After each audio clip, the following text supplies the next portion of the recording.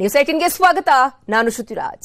ಅನ್ನಭಾಗ್ಯ ಯೋಜನೆಗೆ ಅಕ್ಕಿ ಪೂರೈಸೋದಕ್ಕೆ, ಹೊಂದಿಸೋದಕ್ಕೆ ಸರ್ಕಾರ ಸಿಕ್ಕಾಪಟ್ಟೆ ಸರ್ಕಸ್ ಅನ್ನ ನಡೆಸ್ತಾ ಇದೆ.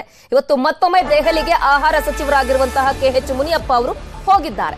ಬೆಳಗ್ಗೆ ಹನ್ನೊಂದು ಮೂವತ್ತಕ್ಕೆ ಕೇಂದ್ರ ಆಹಾರ ಸಚಿವರನ್ನ ಭೇಟಿ ಮಾಡ್ತಾರೆ. ಈಗ ನಿನ್ನೆ ಮೊನ್ನೆ ಎಲ್ಲ ಕೂಡ ಹೋಗಿ ಭೇಟಿ ಮಾಡಿದ್ರು, ಆದ್ರೆ ಅವಕಾಶವೇ ಸಿಗ್ಲಿಲ್ಲ ಅಂತ ಹೇಳಿ ನಿರಾಸೆಯಿಂದ ಅವರು ವಾಪಸ್ ತೆರಳಿದ್ರು. ಇದೀಗ ಮತ್ತೆ ಕೇಂದ್ರ ಸಚಿವ ಪಿಯೂಷ್ ಗೋಯಲ್ ಅವರನ್ನ ಭೇಟಿ ಮಾಡ್ಲಿಕ್ಕೆ ಅಂತ ಹೇಳಿ ಮುನಿಯಪ್ಪ ಅವರು ಹೋಗ್ತಾರೆ. ಕೇಂದ್ರ ಸಚಿವ ಪಿಯೂಷ್ ಗೋಯಲ್ ಅನ್ನ ಇವತ್ತು ಭೇಟಿ ಮಾಡಿ ಜುಲೈ ಒಂದನೇ ತಾರೀಕಿನಿಂದಲೇ ಅನ್ನಭಾಗ್ಯ ಯೋಜನೆಯ ಅಕ್ಕಿ ಕೊಡೋ ನಿಟ್ಟಿನಲ್ಲಿ ಕೆಲಸಗಳಾಗುತ್ತಾ ಅನ್ನೋದೊಂದು ಪ್ರಶ್ನೆ ಕೂಡ ಹುಟ್ಕೊಳ್ತಾ ಇದೆ. ಯಾಕಂದ್ರೆ ರಾಜ್ಯ ಸರ್ಕಾರ ಭರವಸೆ ಕೊಟ್ಟಿರೋದು ಜುಲೈ ಒಂದನೇ ತಾರೀಕಿನಿಂದ. ಸೊ ಜುಲೈನಿಂದ ನಿಮಗೆ ಹತ್ತು ಕೆಜಿ ತಲಾ ಒಬ್ಬೊಬ್ಬರಿಗೆ ಕೊಡ್ತೀವಿ ಅಂತ ಹೇಳಿದೆ. ಸೊ ಆ ಹಿನ್ನೆಲೆಯಲ್ಲಿ ಏನಾದ್ರು? ಸೊ ಇವತ್ತು ಮಾತುಕತೆ ನಡೆದ್ರು ಕೇಂದ್ರ ಸರ್ಕಾರ ಒಪ್ಕೊಳ್ಳುತ್ತಾ? ಒಂದು ವೇಳೆ ಕೇಂದ್ರ ಸರ್ಕಾರ ಅಕ್ಕಿ ಕೊಡದೇ ಇದ್ರೆ ಸರ್ಕಾರಕ್ಕೆ ಮುಂದಿರುವಂತಹ ಆಪ್ಷನ್ ಯಾವುದು? ಬೇರೆ ಮಾರ್ಗ ಯಾವುದು? ಈಗ ಸದ್ಯಕ್ಕೆ ರಾಜ್ಯ ಸರ್ಕಾರಕ್ಕೆ ಬೇಕಾಗಿರೋದು ಎರಡು ಪಾಯಿಂಟ್ ಐದು ಆರು ಲಕ್ಷ ಮೆಟ್ರಿಕ್ ಟನ್ ಅಕ್ಕಿ. ಆ ಅಕ್ಕಿಗೋಸ್ಕರ ಸರ್ಕಾರ ಪರದಾಡ್ತಾ ಇದೆ. ಈಗಾಗಲೇ ಛತ್ತೀಸ್ಗಢದಿಂದ ಅಕ್ಕಿ ಖರೀದಿಗೆ ಮಾತುಕತೆ ಕೂಡ ನಡೆದಿದೆ. ಸಿಎಂ ಸಿದ್ದರಾಮಯ್ಯನವರು ಬುಧವಾರ ಅಮಿತ್ ಶಾ ಅವರನ್ನ ಭೇಟಿ ಮಾಡಿ ಇದೇ ವಿಚಾರವನ್ನ ಪ್ರಸ್ತಾಪ ಮಾಡಿದ್ರು. ಆದರೆ ಆಹಾರ ಸಚಿವರ ಭೇಟಿಗೆ ಅವತ್ತು ಆ ಕಾಲಾವಕಾಶ ಸಿಕ್ಕಿರಲಿಲ್ಲ. ಈಗ ಪಿಯೂಷ್ ಗೋಯಲ್ ಅವರ ಭೇಟಿಗೆ ಅವಕಾಶ ಕೂಡ ಸಿಕ್ಕಿದೆ. ಕಾದ್ ನೋಡಬೇಕು. ಪಿಯೂಷ್ ಗೋಯಲ್ ಅವರ ಜತೆಯಲ್ಲಿ ಆಹಾರ ಸಚಿವರ ಆಗಿರುವ- ಆಗ- ಆಗಿರುವಂತಹ ಕೆಎಚ್ ಮುನಿಯಪ್ಪ ಅವರು ಇವತ್ತು ಮಾತುಕತೆಯನ್ನು ಕೂಡ ನಡೆಸ್ತಾರೆ. ನೋಡೋಣ. ಬನ್ನಿ ಬಗ್ಗೆ ಮತ್ತಷ್ಟು ಮಾಹಿತಿಯನ್ನು ಕೊಡ್ಲಿಕ್ಕೆ ಅಂದರೆ ಸಂಪರ್ಕದಲ್ಲಿ ಜಾಯಿನ್ ಆಗ್ತಾ ಇದ್ದಾರೆ ನಮ್ಮ ಪ್ರತಿನಿಧಿ ಕೃಷ್ಣ. ಕೃಷ್ಣ, ಮೊನ್ನೆ ಕೇಂದ್ರ ಆಹಾರ ಸಚಿವರ ಭೇಟಿ ಆಗಿರಲಿಲ್ಲ ಬಟ್ ಇವತ್ತು ರಾಜ್ಯ ಆಹಾರ ಸಚಿವರು ದೆಹಲಿಗೆ ಈಗಾಗಲೇ ಹೋಗಿದ್ದಾರೆ. ಪಿಯೂಷ್ ಗೋಯಲ್ ಅವರ ಜತೆಯಲ್ಲಿ ಮಾತುಕತೆಯನ್ನ ನಡೆಸಲಿಕ್ಕೆ ಅಂತ ಹೇಳಿ. ಸೊ ಇವತ್ತು ಸಿಗುವಂತಹ ಸಾಧ್ಯತೆಗಳಿದೆಯಾ? ಆತ್ಮವಿಶ್ವಾಸ ಇದೆಯಾ? ರಾಜ್ಯ ಸರ್ಕಾರಕ್ಕೆ ಹೇಗೆ ಅಂತ? ಖಂಡಿತವಾಗ್ಲೂ ಶ್ರುತಿ, ಇವತ್ತು ಸಿಗುವಂತ ವಿಶ್ವಾಸದಲ್ಲೇ ಇವತ್ತು ಕೆ ಎಚ್ ಮುನಿಯಪ್ಪ ಅವರು ದೆಹಲಿಗೆ ಪ್ರಯಾಣವನ್ನು ಬೆಳೆಸಿರುವಂತದ್ದು. ಬೆಳಗ್ಗೆ ಎಂಟು ಗಂಟೆಗೆ ಆಹಾರ ಸಚಿವರಾಗಿರ್ತಕ್ಕಂಥ ಕೆ ಎಚ್ ಮುನಿಯಪ್ಪ ಅವರು ದೆಹಲಿಗೆ ತೆರಳಿದ್ದಾರೆ. ಬೆಳಗ್ಗೆ ಹನ್ನೊಂದು ಮೂವತ್ತರ ಸುಮಾರಿಗೆ ಕೇಂದ್ರ ಆಹಾರ ಸಚಿವರಾಗಿರ್ತಕ್ಕಂಥ ಪಿಯೂಷ್ ಗೋಯಲ್ ಅವರನ್ನ, ಮುನಿಯಪ್ಪ ಅವರನ್ನ ಭೇಟಿ ಮಾಡೋದಕ್ಕೂ ಕೂಡ ಮುಂದಾಗಿರುವಂತದ್ದು. ಕಳೆದ ಎರಡು ದಿನಗಳ ಹಿಂದೆ ಅಷ್ಟೇ ಅಂದ್ರೆ ಬುಧವಾರ ಮುನಿಯಪ್ಪ ಅವರು ಕೂಡ ದೆಹಲಿಗೆ ಪ್ರಯಾಣವನ್ನು ಬೆಳೆಸಿದ್ರು. ಅಲ್ಲೂ ಕೂಡ ಪಿಯೂಷ್ ಗೋಯಲ್ ಅವರನ್ನ ಭೇಟಿ ಮಾಡುವಂತ ಪ್ರಯತ್ನವನ್ನು ಕೂಡ ಮಾಡಿದ್ರು. ಆದರೆ ಅಂತಿಮವಾಗಿ ಎಲ್ಲೊಂದು ಕಡೆಗೆ ಭೇಟಿಗೆ ಅವಕಾಶವನ್ನು ಮಾಡಿಕೊಟ್ಟಿಲ್ಲ ಅನ್ನುವಂತ ಕಾರಣಕ್ಕೋಸ್ಕರವಾಗಿ ಮತ್ತೆ ಬೆಂಗಳೂರಿಗೆ ಮುನಿಯಪ್ಪ ಅವರು ವಾಪಸ್ ಆಗಿದ್ರು ಮತ್ತೆ ಕೇಂದ್ರ ಸರ್ಕಾರದ ವಿರುದ್ಧಕ್ಕೂ ಕೂಡ ಆಕ್ರೋಶವನ್ನು ವ್ಯಕ್ತಪಡಿಸಿದ್ರು. ಅಂದ್ರೆ ಭೇಟಿಗೆ ಅವಕಾಶ ಮಾಡಿಕೊಟ್ಟು ಕೊನೆ ಕ್ಷಣದಲ್ಲಿ ನಮಗೆ ಭೇಟಿನ ರದ್ದು ಮಾಡಿದ್ದಾರೆ ಅನ್ನುವಂತ ಆಪಾದನೆಯನ್ನು ಮಾಡೋದ್ರ ಮುಖಾಂತರವಾಗಿ ಕೇಂದ್ರ ಸರ್ಕಾರದ ವಿರುದ್ಧವಾಗಿ ಅಕ್ಕಿ ಸಮರವನ್ನು ಸಾರಿದ್ರು. ಆದ್ರೆ ಈಗ ಕೇಂದ್ರ ಸರ್ಕಾರ ಎಲ್ಲೊಂದು ಕಡೆ ಈ ಒಂದು ವಿಚಾರದಲ್ಲಿ ಎಚ್ಚರಿಕೆ ನಡೆ ಅನುಸರಿಸುವಂತ ನಿಟ್ಟಿನಲ್ಲೂ ಕೂಡ ಈಗ ಮುಂದಾಗಿರುವಂತದ್ದು. ಯಾಕಂದ್ರೆ ಏನಾರ ಯಾಕಂತಂದ್ರೆ ಈಗಾಗಲೇ ಅಕ್ಕಿ ವಿಚಾರದಲ್ಲಿ ಕಾಂಗ್ರೆಸ್ ನಿರಂತರವಾಗಿ ಆಪಾದನೆಯನ್ನು ಮಾಡ್ತಾ ಇದೆ. ಆಪಾದನೆ ಮಾಡೋದ್ರಿಂದಾಗಿ ಸಹಜವಾಗಿನೇ ಪಕ್ಷಕ್ಕೆ ಡ್ಯಾಮೇಜ್ ಡ್ಯಾಮೇಜ್ ಆಗ್ಬೋದು. ಹಾಗಾಗಿ ಯಾವುದೇ ಕಾರಣಕ್ಕೂ ಕೂಡ ಸಮಸ್ಯೆ ಆಗಬಾರ್ದು ಅನ್ನೋ ಒಂದು ಕಾರಣಕ್ಕೋಸ್ಕರವಾಗಿ ಕೇಂದ್ರದ ಆಹಾರ ಸಚಿವರಾಗಿರ್ತಕ್ಕಂಥ ಪಿಯೂಷ್ ಗೋಯಲ್ ಅವರೇ ಈಗ ಖುದ್ದು ಮುನಿಯಪ್ಪ ಅವರಿಗೆ ಸೂಚನೆ ಕೊಟ್ಟಿದ್ದಾರೆ. ಆ ಕಾರಣಕ್ಕೋಸ್ಕರವಾಗಿಯೇ ಈಗ ಮುನಿಯಪ್ಪ ಅವರು ದೆಹಲಿಗೆ ಪ್ರಯಾಣವನ್ನು ಬೆಳೆಸಿದ್ದಾರೆ. ಹನ್ನೊಂದು ಮೂವತ್ತರ ಸುಮಾರಿಗೆ ಇವತ್ತು ದೆಹಲಿಯಲ್ಲಿ ಅವರ ನಿವಾಸ, ಅಂದ್ರೆ ಪಿಯೂಷ್ ಗೋಯಲ್ ಅವರ ನಿವಾಸ ಏನಿದೆ, ಆ ಒಂದು ನಿವಾಸದಲ್ಲಿ ಭೇಟಿ ಮಾಡಿ ಮಾತುಕತೆಯನ್ನು ಕೂಡ ನಡೆಸುತ್ತಿದ್ದಾರೆ. ಈಗಾಗಲೇ ಮುಖ್ಯವಾಗಿ ಹೆಚ್ಚುವರಿ ಐದು ಕೆಜಿ ಅಕ್ಕಿಯನ್ನ, ಅಂದ್ರೆ ಈಗಾಗಲೇ ಕಾಂಗ್ರೆಸ್ ಸರ್ಕಾರ ಹತ್ತು ಕೆಜಿ ಅಕ್ಕಿಯನ್ನ ಘೋಷಣೆಯನ್ನು ಮಾಡಿದೆ. ಐದು ಕೇಂದ್ರದಿಂದ ಐದು ಕೆಜಿ ಅಕ್ಕಿ ಕೂಡ ಬರ್ತಾ ಇದೆ. ಇನ್ನು ಐದು ಕೆಜಿ ಹೆಚ್ಚುವರಿಯಾಗಿ ಕೇಳುವಂತ ನಿರ್ಧಾರವನ್ನು ಕೂಡ ಇವತ್ತು ಮುನಿಯಪ್ಪ ಅವರು ಮಾಡಿದ್ದಾರೆ. ಮುಖ್ಯವಾಗಿ ಈಗಾಗಲೇ ಬೇರೆ ಬೇರೆ, ಅಂದ್ರೆ ಛತ್ತೀಸ್ಗಢ ಆಗಿರ್ಬೋದು, ಮತ್ತೆ ತೆಲಂಗಾಣ ರಾಜ್ಯಗಳ ಮುಖ- ಮುಖಾಂತರವನ್ನು ಕೂಡ ಅವರಿಂದನೂ ಕೂಡ ಖರೀದಿ ಮಾಡುವಂತ ನಿಟ್ಟಿನಲ್ಲಿ ಕೂಡ ಕಾಂಗ್ರೆಸ್ ಸರ್ಕಾರ ಪ್ರಯತ್ನವನ್ನು ಮಾಡ್ತಾ ಇದೆ. ಆದರೆ ಎಲ್ಲೊಂದು ಕಡೆ ಅದು ಅಂತಿಮವಾಗಿ ಫಲವನ್ನ ಕೊಡ್ತಾ ಇಲ್ಲ. ಹೀಗಾಗಿ ಕೇಂದ್ರ ಸರ್ಕಾರದಿಂದ ಇವತ್ತು ಚರ್ಚೆ ಮಾಡೋದ್ರ ಮುಖಾಂತರವಾಗಿ ಯಾವೆಲ್ಲ ವಿಚಾರಗಳನ್ನ ಅಲ್ಲಿ ಪ್ರಸ್ತಾಪವನ್ನು ಮಾಡಿದ್ರು ಕೂಡ ಸಾಕಷ್ಟು ಕುತೂಹಲ ಮಾಡಿಸಿದೆ. ಒಟ್ಟಾರೆಯಾಗಿ ಇವಾಗ ಕೇಂದ್ರ ಸರ್ಕಾರ ರಾಜ್ಯದ ಆಹಾರ ಸಚಿವರಿಗೆ ಭೇಟಿಯನ್ನ, ಭೇಟಿಗೆ ಅವಕಾಶ ಮಾಡಿಕೊಟ್ಟಿರುವಂತದ್ದು ಸಹಜವಾಗಿನ ಕುತೂಹಲ ಮೂಡಿಸಿದೆ. ಕಳೆದ ಒಂದು ವಾರಗಳಿಂದನೂ ಕೂಡ ನಿರಂತರವಾಗಿ ಕಾಂಗ್ರೆಸ್ ನಾಯಕರು ಆಪಾದನೆಯನ್ನು ಮಾಡ್ತಾ ಇದ್ರು. ಮತ್ತೆ ಮೊನ್ನೆ ಮುಖ್ಯಮಂತ್ರಿ ಸಿದ್ದರಾಮಯ್ಯ ಕೂಡ ಕೇಂದ್ರ ಗೃಹ ಸಚಿವರಾಗಿರ್ತಕ್ಕಂಥ ಅಮಿತ್ ಶಾ ಅವರನ್ನ ಭೇಟಿ ಮಾಡಿ ಮಾತುಕತೆ ಕೂಡ ನಡೆಸಿದ್ರು. ಮಾತುಕತೆ ಸಂದರ್ಭದಲ್ಲಿ ಅಮಿತ್ ಶಾ ಅವರು ಕೂಡ ಸಿದ್ದರಾಮಯ್ಯಗೆ ಭರವಸೆಯನ್ನ ಕೊಟ್ಟಿದ್ರು. ಸಂಬಂಧಪಟ್ಟಂತ ಸಚಿವರ ಜೊತೆಗೆ ಮಾತನಾಡಿ ಹೇಳ್ತೇನೆ ಒಂದು ಮಾತನ್ನು ಕೂಡ ಹೇಳಿದ್ರು. ಇದಾದ ಬೆನ್ನಲ್ಲೇ ಈಗಾಗಲೇ ಆಹಾರ ಸಚಿವ ಕೆ ಎಚ್ ಮುನಿಯಪ್ಪ ಅವರಿಗೆ ಭೇಟಿಗೆ ಅವಕಾಶವನ್ನು ಮಾಡಿಕೊಟ್ಟಿದ್ದಾರೆ. ಹೀಗಾಗಿ ಹನ್ನೊಂದು ಮೂವತ್ತರ ನಂತರವಾಗಿ ಏನು ಬೆಳವಣಿಗೆ ಆಗುತ್ತೆ ಅನ್ನೋದು ಕೂಡ ಸಾಕಷ್ಟು ಕೂತಲು ಮೂಡಿಸಿದೆ. ಇವತ್ತೇ ಅಕ್ಕಿ ಗೊಂದಲ ಏನಿದೆ? ಗೊಂದಲಕ್ಕೆ ತೆರೆ ಬೀಳುವಂತ ಸಾಧ್ಯತೆ ಕೂಡ ಹೆಚ್ಚಿರುವಂತದ್ದು Shruti. Okay Krishna. Thank you complete ಮಾಹಿತಿಗೆ. ರಾಜ್ಯದಲ್ಲಿ ಎರಡು ಪಾಯಿಂಟ್ ಐದು ಎಂಟು ಲಕ್ಷ ಸರ್ಕಾರಿ ಹುದ್ದೆ ಖಾಲಿ. ಗ್ಯಾರಂಟಿ ಅನುಷ್ಠಾನಕ್ಕೂ ಸಿಬ್ಬಂದಿಯ ಸಮಸ್ಯೆ. ಯಾವ ಇಲಾಖೆಯಲ್ಲಿ ಎಷ್ಟು ಸಿಬ್ಬಂದಿ ಖಾಲಿ? ಇದೇ ಹೊತ್ತಿನ ಸ್ಪೆಷಲ್ ಉದ್ಯೋಗ ಭರ್ತಿ ಯಾವಾಗ?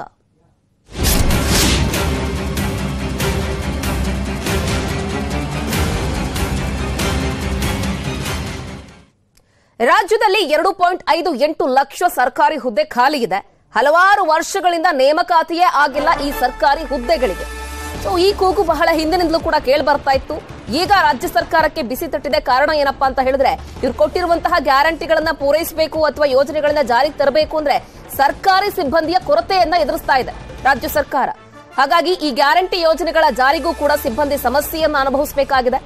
ಆಹಾರ, ಕಂದಾಯ ಇಲಾಖೆಯಲ್ಲೂ ಕೂಡ ಸಿಬ್ಬಂದಿಯ ಕೊರತೆ ಇದೆ. ಆ ಹಿನ್ನೆಲೆಯಲ್ಲಿ ನೇಮಕಾತಿಗೆ ರಾಜ್ಯ ಸರ್ಕಾರಿ ನೌಕರರ ಸಂಘದವರು ಒತ್ತಾಯವನ್ನು ಕೂಡ ಮಾಡ್ತಾ ಇದ್ದಾರೆ. ಮುಖ್ಯಮಂತ್ರಿಗಳಿಗೆ ಹಾಗೆ ಉಪಮುಖ್ಯಮಂತ್ರಿಗಳಿಗೆ ನೌಕರರ ಸಂಘದ ಅಧ್ಯಕ್ಷರು ಒತ್ತಾಯವನ್ನ ಮಾಡ್ತಿದ್ದಾರೆ. ಸೊ ಈಗ ಸದ್ಯಕ್ಕೆ ಇರುವಂತಹ ಖಾಲಿ ಹುದ್ದೆಗಳನ್ನ ಭರ್ತಿ ಮಾಡಬೇಕು ಅನ್ನೋ ಲೆಕ್ಕಾಚಾರ.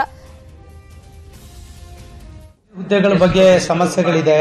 ಸುಮಾರು ಎರಡು ಲಕ್ಷದ ಅರವತ್ತು ಸಾವಿರ ಹುದ್ದೆಗಳು ಖಾಲಿ ಇದೆ. ಆ ಹುದ್ದೆಗಳನ್ನು ಭರ್ತಿ ಮಾಡಬೇಕಾಗಿರೋದು ಕೂಡ ಸರ್ಕಾರದ ಜವಾಬ್ದಾರಿ ಇದೆ. ಇಂದಿನಿಂದನೂ ಕೂಡ ನಾವು ಸರ್ಕಾರದ ಮೇಲೆ ಒತ್ತಡವನ್ನು ಏರ್ತಾ ಇದ್ದೀವಿ. ಮ- ಸರ್ಕಾರಗಳು ಗೊತ್ತಲ್ಲ. ಪರಿಸ್ಥಿತಿಗಳು, ಆರ್ಥಿಕ ಪರಿಸ್ಥಿತಿ ಎಲ್ಲದೂ ಕೂಡ ರೆಫರೆನ್ಸ್ಗಳ ಹಿಂದೆ ಸರ್ಕಾರಗಳೆಲ್ಲ ಹೇಳ್ತಾ ಇತ್ತು. ಆದರೂ ಕೂಡ ನಾವು ಇಷ್ಟೆಲ್ಲ ಖಾಲಿ ಹುದ್ದೆಗಳಿದ್ರೂ ಕೂಡ ಕರ್ನಾಟಕ ಅಭಿವೃದ್ಧಿಯಲ್ಲಿ ಆರನೇ ಸ್ಥಾನದಲ್ಲಿದೆ. ಒಳ್ಳೆ ಕೆಲಸವನ್ನು ಮಾಡ್ತಾ ಇದ್ದೇವೆ. ಒಳ್ಳೆ ಎಫಿಷಿಯನ್ಸಿ ರಾಜ್ಯದ ಸರ್ಕಾರಿ ನೌಕರ ಬಗ್ಗೆ ಬೇರೆ ರಾಜ್ಯಗಳಿಗೆ ಹೋಲಿಸೋದ್ರೆ ಇದೆ. ಈ ಎಲ್ಲ ಕಾರಣಗಳಿಗಾಗಿ ಸರ್ಕಾರನೂ ಕೂಡ ಹಂತ ಹಂತವಾಗಿ ರೆವಿನ್ಯೂ ಇರ್ಬೋದು ಆರ್ ಡಿ ಪಿ ಆರ್ ಇರ್ಬೋದು ಎಜುಕೇಷನ್ ಹೆಲ್ತ್ ಈ ಥರ ಸರ್ವಿಸ್ ಆ್ಯಂಡ್ ಸರ್ವಿಸ್ ಸೆಕ್ಟರ್ಗಳ ಕಡೆ ಹೆಚ್ಚಿನ ಗಮನವನ್ನು ಕೊಟ್ಟು ಖಾಲಿ ಹುದ್ದೆಗಳನ್ನು ಭರ್ತಿ ಮಾಡಬೇಕು ಅನ್ನುವಂಥ ಒತ್ತಡ ಬಹಳ ವರ್ಷಗಳಿಂದ ಸರ್ಕಾರಗಳ ಮೇಲಿದೆ. ನಾನು ಕೂಡ ಈಗ ಸರ್ಕಾರಕ್ಕೆ ವಿನಂತಿ ಮಾಡ್ತೇನೆ, ಆದಷ್ಟು ಬೇಗ ಹಂತ ಹಂತವಾಗಿ ಖಾಲಿ ಹುದ್ದೆಗಳನ್ನು ಭರ್ತಿ ಮಾಡಿದ್ರೆ ಇನ್ನಷ್ಟು ಜನಪರ ಯೋಜನೆಗಳಿಗೆ ಯಶಸ್ವಿ ಆಗಲಿಕ್ಕೆ ಸಾಧ್ಯ ಆಗ್ತದೆ ಆ ಕೆಲಸವನ್ನು ನೌಕರು ಮಾಡ್ತಾರೆ ಈ ಬಗ್ಗೆ ಮತ್ತಷ್ಟು ಮಾಹಿತಿಯನ್ನು ಕೊಡ್ಲಿಕ್ಕೆ ನೇರ ಸಂಪರ್ಕದಲ್ಲಿ ಜಾಯ್ನ್ ಆಗ್ತಾ ಇದ್ದಾರೆ ನಮ್ಮ ಪ್ರತಿನಿಧಿ ಶರಣು ಹಂಪಿ. ಶರಣು ಹಂಪಿ, ಈಗ ಸದ್ಯಕ್ಕೆ ಏಳು ಲಕ್ಷದ ಅರವತ್ತೊಂಬತ್ತು ಸಾವಿರ ಹುದ್ದೆಗಳಿರೋದು ಟೋಟಲ್ ಅದರಲ್ಲಿ ಐದು ಲಕ್ಷದ ಹನ್ನೊಂದು ಸಾವಿರ ಈಗಾಗಲೇ ಸರ್ಕಾರಿ ನೌಕರರಿದ್ದಾರೆ. ಇನ್ನು ಎರಡು ಪಾಯಿಂಟ್ ಐದು ಎಂಟು ಲಕ್ಷ ಸರ್ಕಾರಿ ಹುದ್ದೆಗಳು ಬಾಕಿ ಇರೋದು, ಖಾಲಿಗಿದೆ. ಸೊ ಕಾಂಗ್ರೆಸ್ ಸರ್ಕಾರ ಅದನ್ನ ಎಷ್ಟರ ಮಟ್ಟಿಗೆ ಖಾಲಿ ಹುದ್ದೆಗಳನ್ನ ಫುಲ್ಫಿಲ್ ಮಾಡುತ್ತೆ? ಆ ವಿಶ್ವಾಸ ಇದೆಯಾ? ಈಗ ಸರ್ಕಾರಿ ನೌಕರರ ಸಂಘದವರು ಒತ್ತಾಯವನ್ನು ಕೂಡ ಮಾಡ್ತಾ ಇದ್ದಾರೆ. ಒಟ್ಟಾರೆ ಅಂಕಿ ಅಂಶಗಳು ಸರ್ಕಾರದ ಲೆಕ್ಕಾಚಾರ ಏನಿದೆ? ಶ್ರುತಿ ಪ್ರತಿ ಸಾರಿನೂ ಕೂಡ ಸರ್ಕಾರ ಬದಲಾಗ್ದ, ಬದಲಾದಾಗ ರಾಜ್ಯ ಸರ್ಕಾರಿ ನೌಕರರ ಸಂಘ ಮನವಿ ಮಾಡ್ಕೊಳ್ಳುತ್ತೆ. ಯಾಕಂದ್ರೆ ಸಾಕಷ್ಟು ಖಾಲಿ ಸರ್ಕಾರಿ ನೌಕರರ ಹುದ್ದೆಗಳಿದಾವೆ. ಅವುಗಳನ್ನ ಹಂತ ಹಂತವಾಗಿ ಅದನ್ನು ನೀವು ನೇಮಕಾತಿ ಮಾಡ್ಕೊಳ್ಳಿ ಅಂತ ಹೇಳಿ. ಆದ್ರೆ ಈ ಬಾರಿ ಐದು ಪಂಚ ಘೋಷಣೆಗಳಿಂದವೆ ಗ್ಯಾರಂಟಿಗಳಿಂದವೆ, ಅವುಗಳನ್ನ ಅನುಷ್ಠಾನ ಮಾಡ್ಲಿಕ್ಕಾದ್ರೂ ಈಗಿರುವಂತ ಅದಕ್ಕೆ ಸಂಬಂಧಪಟ್ಟಂತ ಮೂರು ಪ್ರಮುಖ ಇಲಾಖೆಗಳು ಬರುತ್ತೆ. ಆಹಾರ ಇಲಾಖೆ, ಮಹಿಳಾ ಮತ್ತು ಮಕ್ಕಳ ಕಲ್ಯಾಣ ಇಲಾಖೆ ಮತ್ತು ಪ್ರತಿ ಇಲಾಖೆಗೆ ಏನಾದ್ರೂ ಮಾಹಿತಿ ಕೊಡಬೇಕು ಅಂದ್ರೆ ಕಂದಾಯ ಇಲಾಖೆ ಬಹಳ ಪ್ರಮುಖ ಆಗತ್ತೆ. ಈ ಮೂರು ಇಲಾಖೆಯಲ್ಲಿ ಅದನ್ನು ಕೂಡ ಹಂತ ಹಂತವಾಗಿ ಅದರಲ್ಲೂ ಕೂಡ ಆದ್ಯತೆಯ ಆಧಾರದ ಮೇಲೆ ಆ ಇಲಾಖೆಗಳಲ್ಲಿ ಶೇಕಡ ಇಪ್ಪತ್ತರಷ್ಟು ಅದನ್ನು ನೇಮಕಾತಿಯನ್ನ ಮಾಡ್ಕೊಳ್ಳಿ ಅಂತೇಳಿ ರಾಜ್ಯ ಸರ್ಕಾರಿ ನೌಕರರ ಸಂಘದ ಅಧ್ಯಕ್ಷ ಅಂತ ಷಡಕ್ಷರಿ ಮನವಿಯನ್ನು ಕೂಡ ಮಾಡ್ಕೊಳ್ತಾ ಇದ್ದಾರೆ. ಈ ಮೂರು ಪ್ರಮುಖ ಇಲಾಖೆಗಳಿಂದ ಹತ್ತು ಸಾವಿರಕ್ಕೂ ಹೆಚ್ಚು ನೇಮಕಾತಿ ಮಾಡ್ಕೊಳ್ಬೇಕಾಗತ್ತೆ. ಅಷ್ಟು ಖಾಲಿ ಹುದ್ದೆಗಳಿದಾವೆ. ಇದರಲ್ಲಿ ಕನಿಷ್ಠ ಪಕ್ಷ ಮೂರರಿಂದ ನಾಲ್ಕು ಸಾವಿರ ಆದ್ರೂ ಹುದ್ದೆಗಳನ್ನ ನೇಮಕಾತಿ ಮಾಡಿದ್ರೆ ಬಹಳ ಅನುಕೂಲ ಆಗತ್ತೆ. ಈಗೇನ್ ಗ್ಯಾರಂಟಿಗಳೇನಿದಾವೆ? ಗೃಹ ಜ್ಯೋತಿ ಇರ್ಬೋದು, ಗೃಹ ಲಕ್ಷ್ಮಿ ಇರ್ಬೋದು, ಮತ್ತು ಅನ್ನಭಾಗ್ಯ ಇರ್ಬೋದು. ಈ ಯೋಜನೆಗಳ ಅನುಷ್ಠಾನಕ್ಕೆ ಅಥವಾ ಸಮರ್ಪಕವಾಗಿ ಪ್ರಾಮಾಣಿಕವಾಗಿ ಕೆಲಸ ಮಾಡ್ಲಿಕ್ಕೆ ಮತ್ತು ಅನುಷ್ಠಾನವನ್ನ ಬಹಳ ಏನು ಅಧಿಕೃತ ಚೆನ್ನಾಗಿ ಮಾಡ್ಲಿಕ್ಕೆ ಅಧಿಕಾರಿಗಳು ಬೇಕಾಗತ್ತೆ ಮತ್ತೆ ಸಿಬ್ಬಂದಿಗಳು ಕೂಡ ಬೇಕಾಗತ್ತೆ. ಸಾಕಷ್ಟು ಕಡೆಗೆ ಕೆಲ ಡಿಪಾರ್ಟ್ಮೆಂಟ್ಗಳಲ್ಲಿ ಅದರಲ್ಲೂ ಕೂಡ ಕೆಲ ಇಲ್ಲಿ ಕಚೇರಿಯಲ್ಲಿ ಕೆಲವು ತಾಲೂಕುಗಳಲ್ಲಿ ಕೆಲವು ಡಿಸ್ಟಿಕ್ಗಳಲ್ಲಿ ಕೆಲವು ಪಟ್ಟಣ ಪಂಚಾಯತ್ ಇರುವಂತಹ ಪ್ರದೇಶಗಳಲ್ಲೂ ಕೂಡ ಬಹಳಷ್ಟು ಜನ ನೇಮಕಾತಿ ಆಗಿಲ್ಲ. ಇದರಿಂದಾಗಿ ಅನುಷ್ಠಾನ ಮಾಡ್ಲಿಕ್ಕೆ ಗ್ಯಾರಂಟಿ ಘೋಷಣೆಗಳ ಅನುಷ್ಠಾನ ಮಾಡ್ಲಿಕ್ಕೂ ಕೂಡ ಕಷ್ಟ ಆಗತ್ತೆ. ಈ ಹಿನ್ನೆಲೆಯಲ್ಲಿ ಆದ್ಯತೆ ಅನುಸಾರ ಆ, ನೇಮಕಾತಿಯನ್ನ ಮಾಡ್ಕೊಳ್ಳಿ ಅಂತೇಳಿ ಮನವಿಯನ್ನು ಕೂಡ ಮಾಡ್ಕೊಳ್ತಾ ಇದ್ದಾರೆ. ಒಟ್ಟು ರಾಜ್ಯ ಸರ್ಕಾರ ನೌಕರರು ಇರೋದು ನೇಮಕಾತಿ ಇರೋದು ಐದು ಲಕ್ಷ ಜನ. ಆದ್ರೆ ಇನ್ನೂ ಬೇಕಾಗಿರೋದು ಎರಡು ಲಕ್ಷ ಐವತ್ತೆಂಟು ಸಾವಿರ ಖಾಲಿ ಹುದ್ದೆಗಳಿದಾವೆ. ಈ ಹುದ್ದೆಗಳನ್ನ ಹಂತ ಹಂತವಾಗಿ ಎಲ್ಲವನ್ನು ಕೂಡ ಒಂದೇ ಸರಿ ಮಾಡ್ಲಿಕ್ಕೆ ಆಗೋದಿಲ್ಲ. ಪ್ರತಿ ಸರ್ಕಾರನು ಕೂಡ ಹೇಳಿದಾಗ ನಾವು ಸಾಧ್ಯ ಆದಷ್ಟು ನೇಮಕಾತಿ ಮಾಡ್ಕೊಳ್ತೇವೆ ಅಂತ ಹೇಳ್ತಾರೆ. ಆದ್ರೆ ಹಂತ ಹಂತವಾಗಿ ಆದ್ರೂ ಈ ಗ್ಯಾರಂಟಿ ಘೋಷಣೆಗಳಿದ್ದಾವೆ. ಅನುಷ್ಠಾನಕ್ಕಾದ್ರೂ ಕನಿಷ್ಠ ಪಕ್ಷ ಶೇಕಡ ಹತ್ತರಿಂದ ಇಪ್ಪತ್ತರಷ್ಟು ನೇಮಕಾತಿಯನ್ನ ಮಾಡ್ಕೊಳ್ಳಿ ಅಂತೇಳಿ ಮನವಿಯನ್ನ ಮಾಡ್ಕೊಳ್ತಾ ಇದ್ದಾರೆ. Shruti. Okay Sharan Hampi thank you ತಮ್ಮಲ್ಲ ಈ ಕ್ಷಣದ ಅಪ್ಡೇಟ್ಸ್ಗೆ ಬೆಂಗಳೂರಿನಲ್ಲಿ ದೊಡ್ಡವರಿಂದಲೇ ಭಾರಿ ಪ್ರಮಾಣದ ಭೂಸ್ವಾಹ. ಕೆರೆಕಟ್ಟೆ ಕಾಲುವೆಗಳ ಮೇಲೆ ಕಟ್ಟಡಗಳ ನಿರ್ಮಾಣ. ಕಂಪನಿ ಮಾಲ್, ರೆಸಾರ್ಟ್ಗಳಿಂದ ಒತ್ತುವರಿ. ಇದೇ ಈ ಕ್ಷಣದ ಸ್ಪೆಷಲ್ ದೊಡ್ಡವರಿಂದಲೇ ಒತ್ತುವರಿ.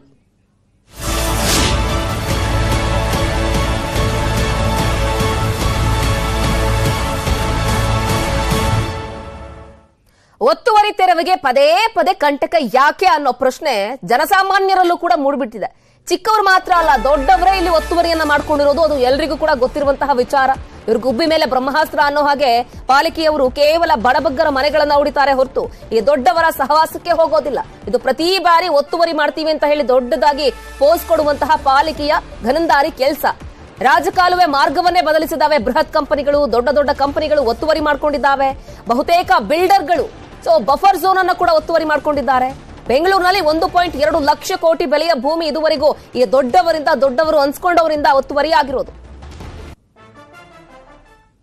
ಈ ನಾನು ಎಂಟುನೂರ ನಲವತ್ತೆರಡು ಕಿಲೋಮೀಟರ್ ಉದ್ದದ ರಾಜಕಾಲುವೆಗಳ ಪೈಕಿ ಈಗಾಗಲೇ ಸುಮಾರು ನಾನೂರಿಂದ ನಾನೂರ ಐದು ಕಿಲೋಮೀಟರ್ ಉದ್ದದ ರಾಜಕಾಲುವೆಗಳನ್ನು ಸಂಪೂರ್ಣವಾಗಿ ಒತ್ತುವರಿ ಮಾಡಿಕೊಂಡು ಈ ರಾಜಕಾಲುವೆಗಳ ಪಕ್ಕದಲ್ಲಿದ್ದಂಥ ಸುಮಾರು ಒಂದು ಲಕ್ಷ, ಒಂದು ಸಾವಿರದ ಇನ್ನೂರು ಎಕರೆಗಳಷ್ಟು ಬಫರ್ ಝೋನ್ಗಳನ್ನು ಸುಮಾರು ಒಂದು ಲಕ್ಷದ ಇಪ್ಪತ್ತು ಸಾವಿರ ಕೋಟಿ ರೂಪಾಯಿಷ್ಟು ಬೆಲೆ ಬಾಳದ, ಬೆಲೆ ಬಾಳುವಂಥ ರಾಜಕಾಲುವೆಗಳ ಬಫರ್ ಝೋನ್ಗಳನ್ನು ಕೂಡ ಈ ಪ್ರತಿಷ್ಠಿತ ಬಿಲ್ಡರ್ಗಳು ಮತ್ತು ಪ್ರಭಾವಿ ವ್ಯಕ್ತಿಗಳು, ಪ್ರಭಾವಿ ರಾಜಕಾರಣಿಗಳು ಒತ್ತುವರಿ ಮಾಡ್ಕೊಂಡು ಕಬಳಿಕೆ ಮಾಡಿರ್ತಕ್ಕಂಥ ದಾಖಲೆಗಳು ಈಗಾಗಲೇ ನಾನು ಹಲವಾರು ಬಾರಿ ಮಾತಾಡಿದ್ದೀನಿ. ಇದಕ್ಕೆ ಸಂಬಂಧಪಟ್ಟ ಎರಡು ಸಾವಿರದ ಹದಿನಾರರಲ್ಲಿ ಸಂಪೂರ್ಣ ದಾಖಲೆಗಳ ಜೊತೆಗೆ ನಾನು ಬಿಎಂಟಿಎಫ್ ಅಲ್ಲಿ ಮತ್ತು ಎಸಿಬಿಯಲ್ಲಿ ದೂರಗಳನ್ನು ಕೂಡ ಕೊಟ್ಟಿದ್ದೆ. ಮಾನ್ಯತಾ ಟೆಕ್ ಪಾರ್ಕ್ ಇರ್ಬೋದು embassy golf link tech park ಇರ್ಬೋದು ಅಥವಾ ಸೆಸ್ನಾ ಟೆಕ್ ಪಾರ್ಕ್ ಇರ್ಬೋದು ಅಥವಾ ಆರ್ ಎಂ ಜೆಡ್ ಇರ್ಬೋದು, ಬೃಂದಾವನ್ ಟೆಕ್ ಪಾರ್ಕ್ ಇರ್ಬೋದು, ಈ ರೀತಿಯ ಟೆಕ್ ಪಾರ್ಕ್ಗಳು.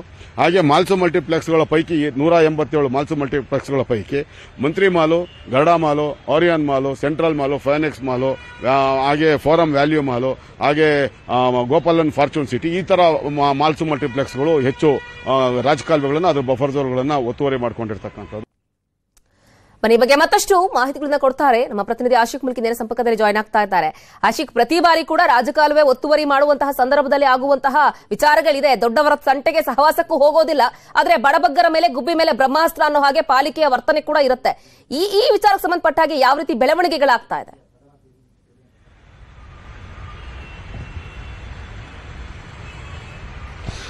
ಶ್ರುತಿ ಬಿಬಿಎಂಪಿಯ ರಾಜಕಾಲುವೆ ಒತ್ತುವರಿ ತೆರವು ಅನ್ನುವಂತ ಒಂದು ಕಾರ್ಯಾಚರಣೆ ಏನಿದೆ? ಇದು ಕೇವಲ ಆ ಬಡವರನ್ನ ಮಾತ್ರ ಗುರಿಯಾಗಿಸಿರುವಂತದ್ದು ಯಾಕೆ ಇದನ್ನ ಸಂಪೂರ್ಣವಾಗಿ ಬಿಬಿಎಂಪಿಗೆ ಈ ಒಂದು ಒತ್ತುವರಿ ತೆರವು ಕಾರ್ಯಾಚರಣೆಯನ್ನ ಯಶಸ್ವಿಯಾಗಿ ಮಾಡಕ್ ಸಾಧ್ಯ ಆಗ್ತಾ ಇಲ್ಲ ಅನ್ನುವಂಥದ್ದು ಬಹಳ ಮುಖ್ಯವಾಗಿರುವಂತ ಪ್ರಶ್ನೆ. ಅದರ ಹಿನ್ನೆಲೆಗಳನ್ನ ನೋಡ್ತಾ ಹೋದ್ರೆ ಬೆಂಗಳೂರಿನಲ್ಲಿ ಅತಿ ಹೆಚ್ಚು ಒತ್ತುವರಿಯನ್ನ ಮಾಡಿಕೊಂಡಿರುವಂತದ್ದು ದೊಡ್ಡ ದೊಡ್ಡ ಕಂಪನಿಗಳು ಅವೆಲ್ಲವೂ ಕೂಡ ಕೋಟ್ಯಾಂತರ ರೂಪಾಯಿ ವಹಿವಾಟನ್ನು ಸಾವಿರಾರು ಕೋಟಿ ಮಾಡುವಂತಹ ವ್ಯವಹಾರವನ್ನ ಮಾಡುವಂತ ದೊಡ್ಡ ದೊಡ್ಡ ಕಂಪನಿಗಳು.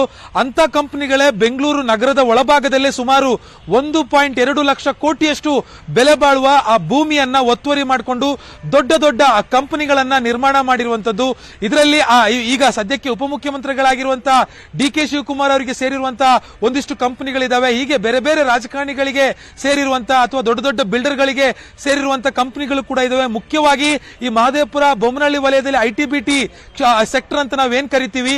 ಆ ಕಡೆ ಅತಿ ಹೆಚ್ಚು ಐಟಿ ಬಿಟಿ ಕಂಪನಿಗಳು ಏನು ರಾಜಕಾಲುವೆಯನ್ನ, ಕೆರೆಯನ್ನ ಒತ್ತುವರಿ ಮಾಡಿ ತಮಗೆ ಬೇಕಾಗಿರುವ ಹಾಗೆ ಕಟ್ಟಡಗಳನ್ನ, ದೊಡ್ಡ ದೊಡ್ಡ ಆಫೀಸ್ಗಳನ್ನ ನಿರ್ಮಾಣ ಮಾಡಿಕೊಂಡು ತಮ್ಮ ವ್ಯಾಪಾರ ಅಥವಾ ವ್ಯವಹಾರ, ಏನು ವ್ಯವಹಾರಗಳನ್ನ ಮಾಡ್ತಾ ಇರುವಂತದ್ದು. ಪ್ರಮುಖವಾಗಿ ಸಲರ್ಪುರಿ ಆಗಿರ್ಬೋದು, ಅಥವಾ ಶೋಭಾ ಡೆವಲಪರ್ಸ್ ಆಗಿರ್ಬೋದು, ಅಥವಾ ಏನು ವಿಪ್ರೋ ಆಗಿರ್ಬೋದು. ಹೀಗೆ ದೊಡ್ಡ ದೊಡ್ಡ ಕಂಪನಿಗಳು ಎಲ್ಲವೂ ಕೂಡ ಬೆಂಗಳೂರು ನಗರದ ಒಳಭಾಗದಲ್ಲೇ ಒತ್ತುವರಿ ಮಾಡಿಕೊಂಡಿರುವಂತದ್ದು.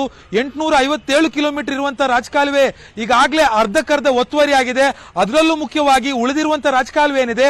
ಅದನ್ನ ಆ ಯಥಾಸ್ಥಿತಿಯಲ್ಲಿರುವಂತಹ ರಾಜಕಾಲುವೆಯನ್ನ ತಮ್ಮ ಅನುಕೂಲಕ್ಕಾಗಿ ದೊಡ್ಡ ದೊಡ್ಡ ಶ್ರೀಮಂತರು ಬೇಕಾಬಿಟ್ಟಿ ಡೈವರ್ಷನ್ ಕೊಡುವಂತ ಕೆಲಸವನ್ನ ಮಾಡಿದ್ದಾರೆ. ಇದೇ ಕಾರಣದಿಂದ ಬೆಂಗಳೂರು ನಗರದಲ್ಲಿ ಮಳೆ ಬಂದಂತಹ ಸಂದರ್ಭದಲ್ಲಿ ಪ್ರವಾಹ ಉಂಟಾಗ್ತಾ ಇದೆ. ಈ ಹಿಂದೆನೆ ಬಿಬಿಎಂಪಿ ರಾಜಕಾಲುವೆ ಏನು ಕಿರಿದಾಗಿದೆ. ಅರವತ್ತಡಿ, ಎಪ್ಪತ್ತಡಿ ಇರುವಂತಹ ರಾಜಕಾಲುವೆಗಳನ್ನ ಎರಡರಿಂದ ನಾಲ್ಕಡಿಗೆ ತಂದು ನಿಲ್ಲಿಸಿದ್ದಾರೆ. ಹೀಗಾಗಿ ಆ ಸರಾಗವಾಗಿ ನೀರು ಹರಿಯೋದಕ್ಕೆ ಯಾವುದೇ ರೀತಿಯಾಗಿರುವಂತಹ ವ್ಯವಸ್ಥೆ ಇಲ್ಲ. ಈಗಾಗಲೇ ಒತ್ತುವರಿ ತೆರವು ಮಾಡಿಕೊಂಡಿರುವಂತದನ್ನ ಮತ್ತೆ ಆ ರಿಎನ್ಕ್ರೋಚ್ ಮಾಡಿ ಅಲ್ಲಿ ರಾಜಕಾಲುವೆ ನಿರ್ಮಾಣ ಮಾಡದೆ ಹೋದ್ರೆ ಬೆಂಗಳೂರಿನ ಮುಂದಿನ ದಿನಗಳು ಮತ್ತಷ್ಟು ಭಯಾನಕ ಆಗಲಿದೆ ಅನ್ನುವಂತ ಒಂದು ವಾಸ್ತವ ಸ್ಥಿತಿ ಕೂಡ ಬಿಬಿಎಂಪಿ ಅಧಿಕಾರಿಗಳಿಗೆ ಗೊತ್ತಿದೆ. ಹಾಗಿದ್ರೂ ಕೂಡ ಈ ಎಲ್ಲಾ ಒತ್ತುವರಿಯನ್ನ ತೆರವು ಮಾಡಿ ಮತ್ತೆ ಅಲ್ಲಿ ಏನು ಎಸ್ ಡಬ್ಲ್ಯೂ ಡಿ ಅಂದ್ರೆ ರಾಜಕಾಲುವೆ ನಿರ್ಮಾಣ ಮಾಡೋದಕ್ಕೆ ಬಿಬಿಎಂಪಿ ಅಧಿಕಾರಿಗಳು ಹಿಂದೇಟಾಗ್ತಿದ್ದಾರೆ ಹಿಂದೇಟಾಗ್ತಿರೋದಕ್ಕೆ ಕಾರಣ ಏನು ಅಂತಂದ್ರೆ ಎಲ್ಲಾ ಕಂಪನಿಗಳ ಮಾಲೀಕರಾಗಲಿ, ಅದನ್ನ ಅದನ್ನ ವ್ಯವಹಾರವನ್ನು ನೋಡ್ಕೊಳ್ಳೋರಾಗ್ಲಿ, ಅವರೆಲ್ಲರೂ ಕೂಡ ಒಂದು ರಾಜಕೀಯ ಒಂದು ಬೆಂಬಲ ಇರುತ್ತವೆ ಅಥವಾ ಅವರಿಗೆ ಬೇರೆ ರೀತಿಯಾಗಿರುವಂತಹ ಒಂದು ಬೆಂಬಲ ಇರುತ್ತವೆ. ಈ ಕಾರಣಕ್ಕಾಗಿ ಈ ರಾಜಕಾಲುವೆ ಒತ್ತುವರಿ ತೆರವು ಕಾರ್ಯಾಚರಣೆ ಏನಿದೆ ಬಿಬಿಎಂಪಿ ಅಧಿಕಾರಿಗಳದ್ದು ಅದನ್ನ ಸಂಪೂರ್ಣವಾಗಿ ಬಿಬಿಎಂಪಿ ಅಧಿಕಾರಿಗಳಿಗೆ ಯಶಸ್ವಿಯಾಗಿ ಮಾಡಕ್ಕಾಗ್ತಿಲ್ಲ. ಇದೇ ಹಿನ್ನೆಲೆಯಲ್ಲಿ ಬಡವರ ಗುಡಿಸಲುಗಳು ಮನೆಗಳು ಅಥವಾ ಗೋಡೆಗಳನ್ನ ಮಾತ್ರ ಕೆಡವಿ ಬಿಬಿಎಂಪಿ ಅಧಿಕಾರಿಗಳು ತಮ್ಮ ಪೌರುಷವನ್ನು ತೋರ್ತಾ ಇರುವಂತದ್ದು Shruti. Okay Ashik thank you welcome back ರಾಮನಗರದಲ್ಲಿ ಎಲೆಕ್ಷನ್ ಸಂದರ್ಭದಲ್ಲಿ ಗಿಫ್ಟ್ ಪಾಲಿಟಿಕ್ಸ್ ನಡೆದಿದೆ ಅನ್ನೋದ ವಿಚಾರಕ್ಕೆ ಸಂಬಂಧಪಟ್ಟ ಈಗ ಚರ್ಚೆಗಳು ಜೋರಾಗಿದೆ. ಶಾಸಕರ ವಿರುದ್ಧ ಮತ ಹಾಕಿದವರ ಆಕ್ರೋಶವನ್ನು ವ್ಯಕ್ತಪಡಿಸ್ತಾ ಇದ್ದಾರೆ. ರಾಮನಗರದಲ್ಲಿ ನಿಖಿಲ್ ಕುಮಾರಸ್ವಾಮಿ ಅವರು ಸೋಲನ ಅನುಭವಿಸಬೇಕಾಯಿತು. ಅಲ್ಲಿ ಗಿಫ್ಟ್ ಪಾಲಿಟಿಕ್ಸ್ ವರ್ಕೌಟ್ ಆಗಿದೆ ಅಂತ ಹೇಳಿ ಕುಮಾರಸ್ವಾಮಿ ಅವರು ಕೂಡ ಈ ಹಿಂದೆ ಗಂಭೀರ ಆರೋಪವನ್ನ ಮಾಡಿದ್ರು. ಜೆಡಿಎಸ್ ಅವರು ಕೂಡ ಆರೋಪವನ್ನ ಮಾಡಿದ್ರು. ಈಗ ಅದೇ ವಿಚಾರಕ್ಕೆ ಮತ್ತಷ್ಟು ಪುಷ್ಟಿ ಸಿಗ್ತಾ ಇದೆ. ಗಿಫ್ಟ್ ಕಾರ್ಡ್ ಹಂಚಿದ್ರಂತೆ ಕಾಂಗ್ರೆಸ್ನ ಶಾಸಕರಾಗಿರುವಂತಹ ಇಕ್ಬ- ಇಕ್ಬಾಲ್ ಹುಸೇನ್ ಅವರು.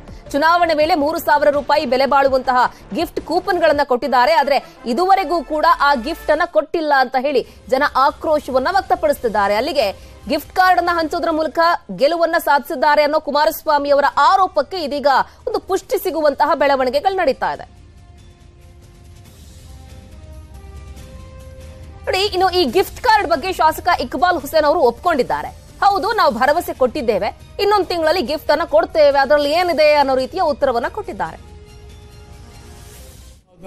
ಕಾಂಗ್ರೆಸ್ ಪಕ್ಷ ನಾವೊಂದು ಗಿಫ್ಟ್ ಕಾರ್ಡ್ ಅನ್ನ ನಿಮ್ಗೆಲ್ಲರೂ ಕೂಡ ಕೊಟ್ಟಿದ್ವಿ ನಾವು. ಆ ಗಿಫ್ಟ್ ಕಾರ್ಡ್ ಅನ್ನ ನಾವು ಇನ್ನು ಒಂದು ತಿಂಗಳ ಒಳಗಡೆ ಆ ಕಾರ್ಡ್ಗೂ ಕೂಡ ನಾನೇ ಖುದ್ದಾಗಿ ನನ್ನ ಎಲ್ಲ ಸ್ನೇಹಿತರುಗಳು ನನ್ನ ಕಾರ್ಯಕರ್ತ ಬಂಧುಗಳ ಜೊತೆಯಲ್ಲಿ ನಾನೆಲ್ಲರೂ ಕೂಡ ಪ್ರಾಮಾಣಿಕವಾದಂಥ ಪ್ರಯತ್ನ ಮಾಡಿ ಆ ಗಿಫ್ಟ್ ಕಾರ್ಡ್ಗೆ ಆ ಗಿಫ್ಟನ್ನು ಕೊಡುವಂಥ ಕೆಲಸನೂ ಕೂಡ ನಾನು ಮಾಡ್ತೇನೆ. ಗಿಫ್ಟ್ ಕಾರ್ಡ್ ಕೊಟ್ಟಿರೋರು ಕಾಂಗ್ರೆಸ್ನವರು, ಕಾಂಗ್ರೆಸ್ನವರ ಭಾವಚಿತ್ರ ಅದರಲ್ಲಿದೆ ಅದು ಚಿಂತನೆ ಮಾಡಬೇಕಂತ ಆದರೂ ಕಾಂಗ್ರೆಸ್ ಪಕ್ಷದವರು.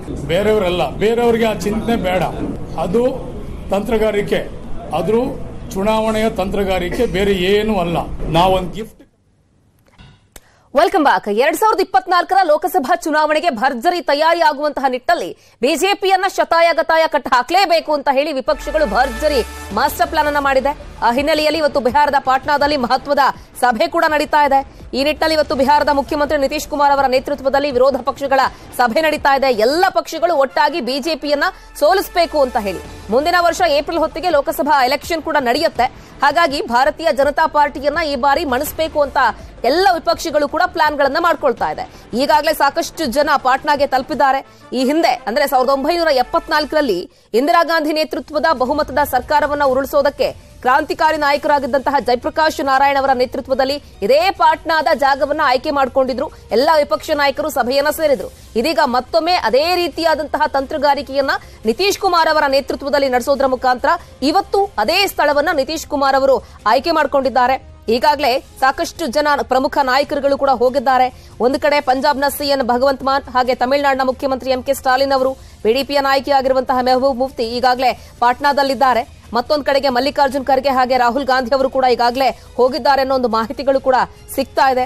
ಮತ್ತೊಂದು ಕಡೆಗೆ ಮಹಾರಾಷ್ಟ್ರದ ಮಾಜಿ ಮುಖ್ಯಮಂತ್ರಿ ಉದ್ಧವ್ ಠಾಕ್ರೆ ಅವರು, ಸಂಸದರಾಗಿರುವಂತಹ ಸಂಜಯ್ ರಾವತ್ ಅವರು, ಎನ್ಸಿಪಿ ನಾಯಕ ಶರದ್ ಪವಾರ್ ಅವರು, ನ್ಯಾಷನಲ್ ಕಾನ್ಫರೆನ್ಸ್ನ ನಾಯಕ ಒಮರ್ ಅಬ್ದುಲ್ಲಾ ಅವರು ಈಗಾಗಲೇ ಪಾಟ್ನಾಗೆ ಹೋಗುವಂತಹ ಎಲ್ಲ ತಯಾರಿಗಳನ್ನ ಕೂಡ ಮಾಡಿಕೊಂಡು ಈಗಾಗಲೇ ಹೊರಟಿದ್ದಾರೆ. ಪ್ರಮುಖವಾಗಿ ಈ ಸಂದರ್ಭದಲ್ಲಿ ಮಲ್ಲಿಕಾರ್ಜುನ್ ಖರ್ಗೆ ಅವರು ಮಾತನಾಡಿದ್ರು. ನಾವು ಬಿಜೆಪಿ ವಿರುದ್ಧ ಮುಂದಿನ ಲೋಕಸಭಾ ಚುನಾವಣೆಯಲ್ಲಿ ಹೋರಾಡ್ತಾ ಇದ್ದೇವೆ. ನಮ್ಮ ಅಜೆಂಡಾ, ಎಲ್ಲ ವಿಪಕ್ಷಗಳ ಅಜೆಂಡಾ ಇರೋದು ಒಂದೇ. ನಾವೆಲ್ಲರೂ ಒಗ್ಗಟ್ಟಾಗಿ ಕೆಲಸ ಮಾಡಿ ಬಿಜೆಪಿಯನ್ನ ಮಣಿಸೋದಷ್ಟೇ ಅಂತ ಹೇಳಿದ್ದಾರೆ. ಸೊ ಇವತ್ತು ಪಾಟ್ನಾದಲ್ಲಿ ಮಹತ್ವದ ಸಭೆ ಇರುತ್ತಲ್ಲ, ಆ ಸಭೆಯಲ್ಲಿ ಸಾಕಷ್ಟು ವಿಚಾರಗಳನ್ನ ಚರ್ಚೆ ಮಾಡ್ತೀವಿ. ಕೇಂದ್ರದ ವಿಧೇಯಕ ಕುರಿತು, ಒಂದು ನಿರ್ಧಾರಕ್ಕೆ ಬೆಂಬಲಿಸುವಂತಹ ಕುರಿತು ಸಂಸತ್ನ ಅಧಿವೇಶನದಲ್ಲಿ ಕಾಂಗ್ರೆಸ್ ನಿರ್ಧಾರವನ್ನ ಕೂಡ ಮಾಡುತ್ತೆ. ಸೊ ಒಟ್ನಲ್ಲಿ ನಮ್ಮ ಟಾರ್ಗೆಟ್ ಇರೋದು, ನಮ್ಮ ಅಜೆಂಡಾ ಇರೋದು ಈ ಬಾರಿಯ ಲೋಕಸಭಾ ಎಲೆಕ್ಷನ್ನಲ್ಲಿ ಬಿಜೆಪಿಯನ್ನ ಶತಾಯ ಗತಾಯ ಮಣಿಸಲೇಬೇಕು ಅನ್ನೋ ಒಂದು ಪ್ಲಾನ್ ಅನ್ನ ಎಲ್ಲಾ ವಿಪಕ್ಷಗಳು ಕೂಡ ಮಾಡ್ಕೊಂಡಿದ್ದಾವೆ.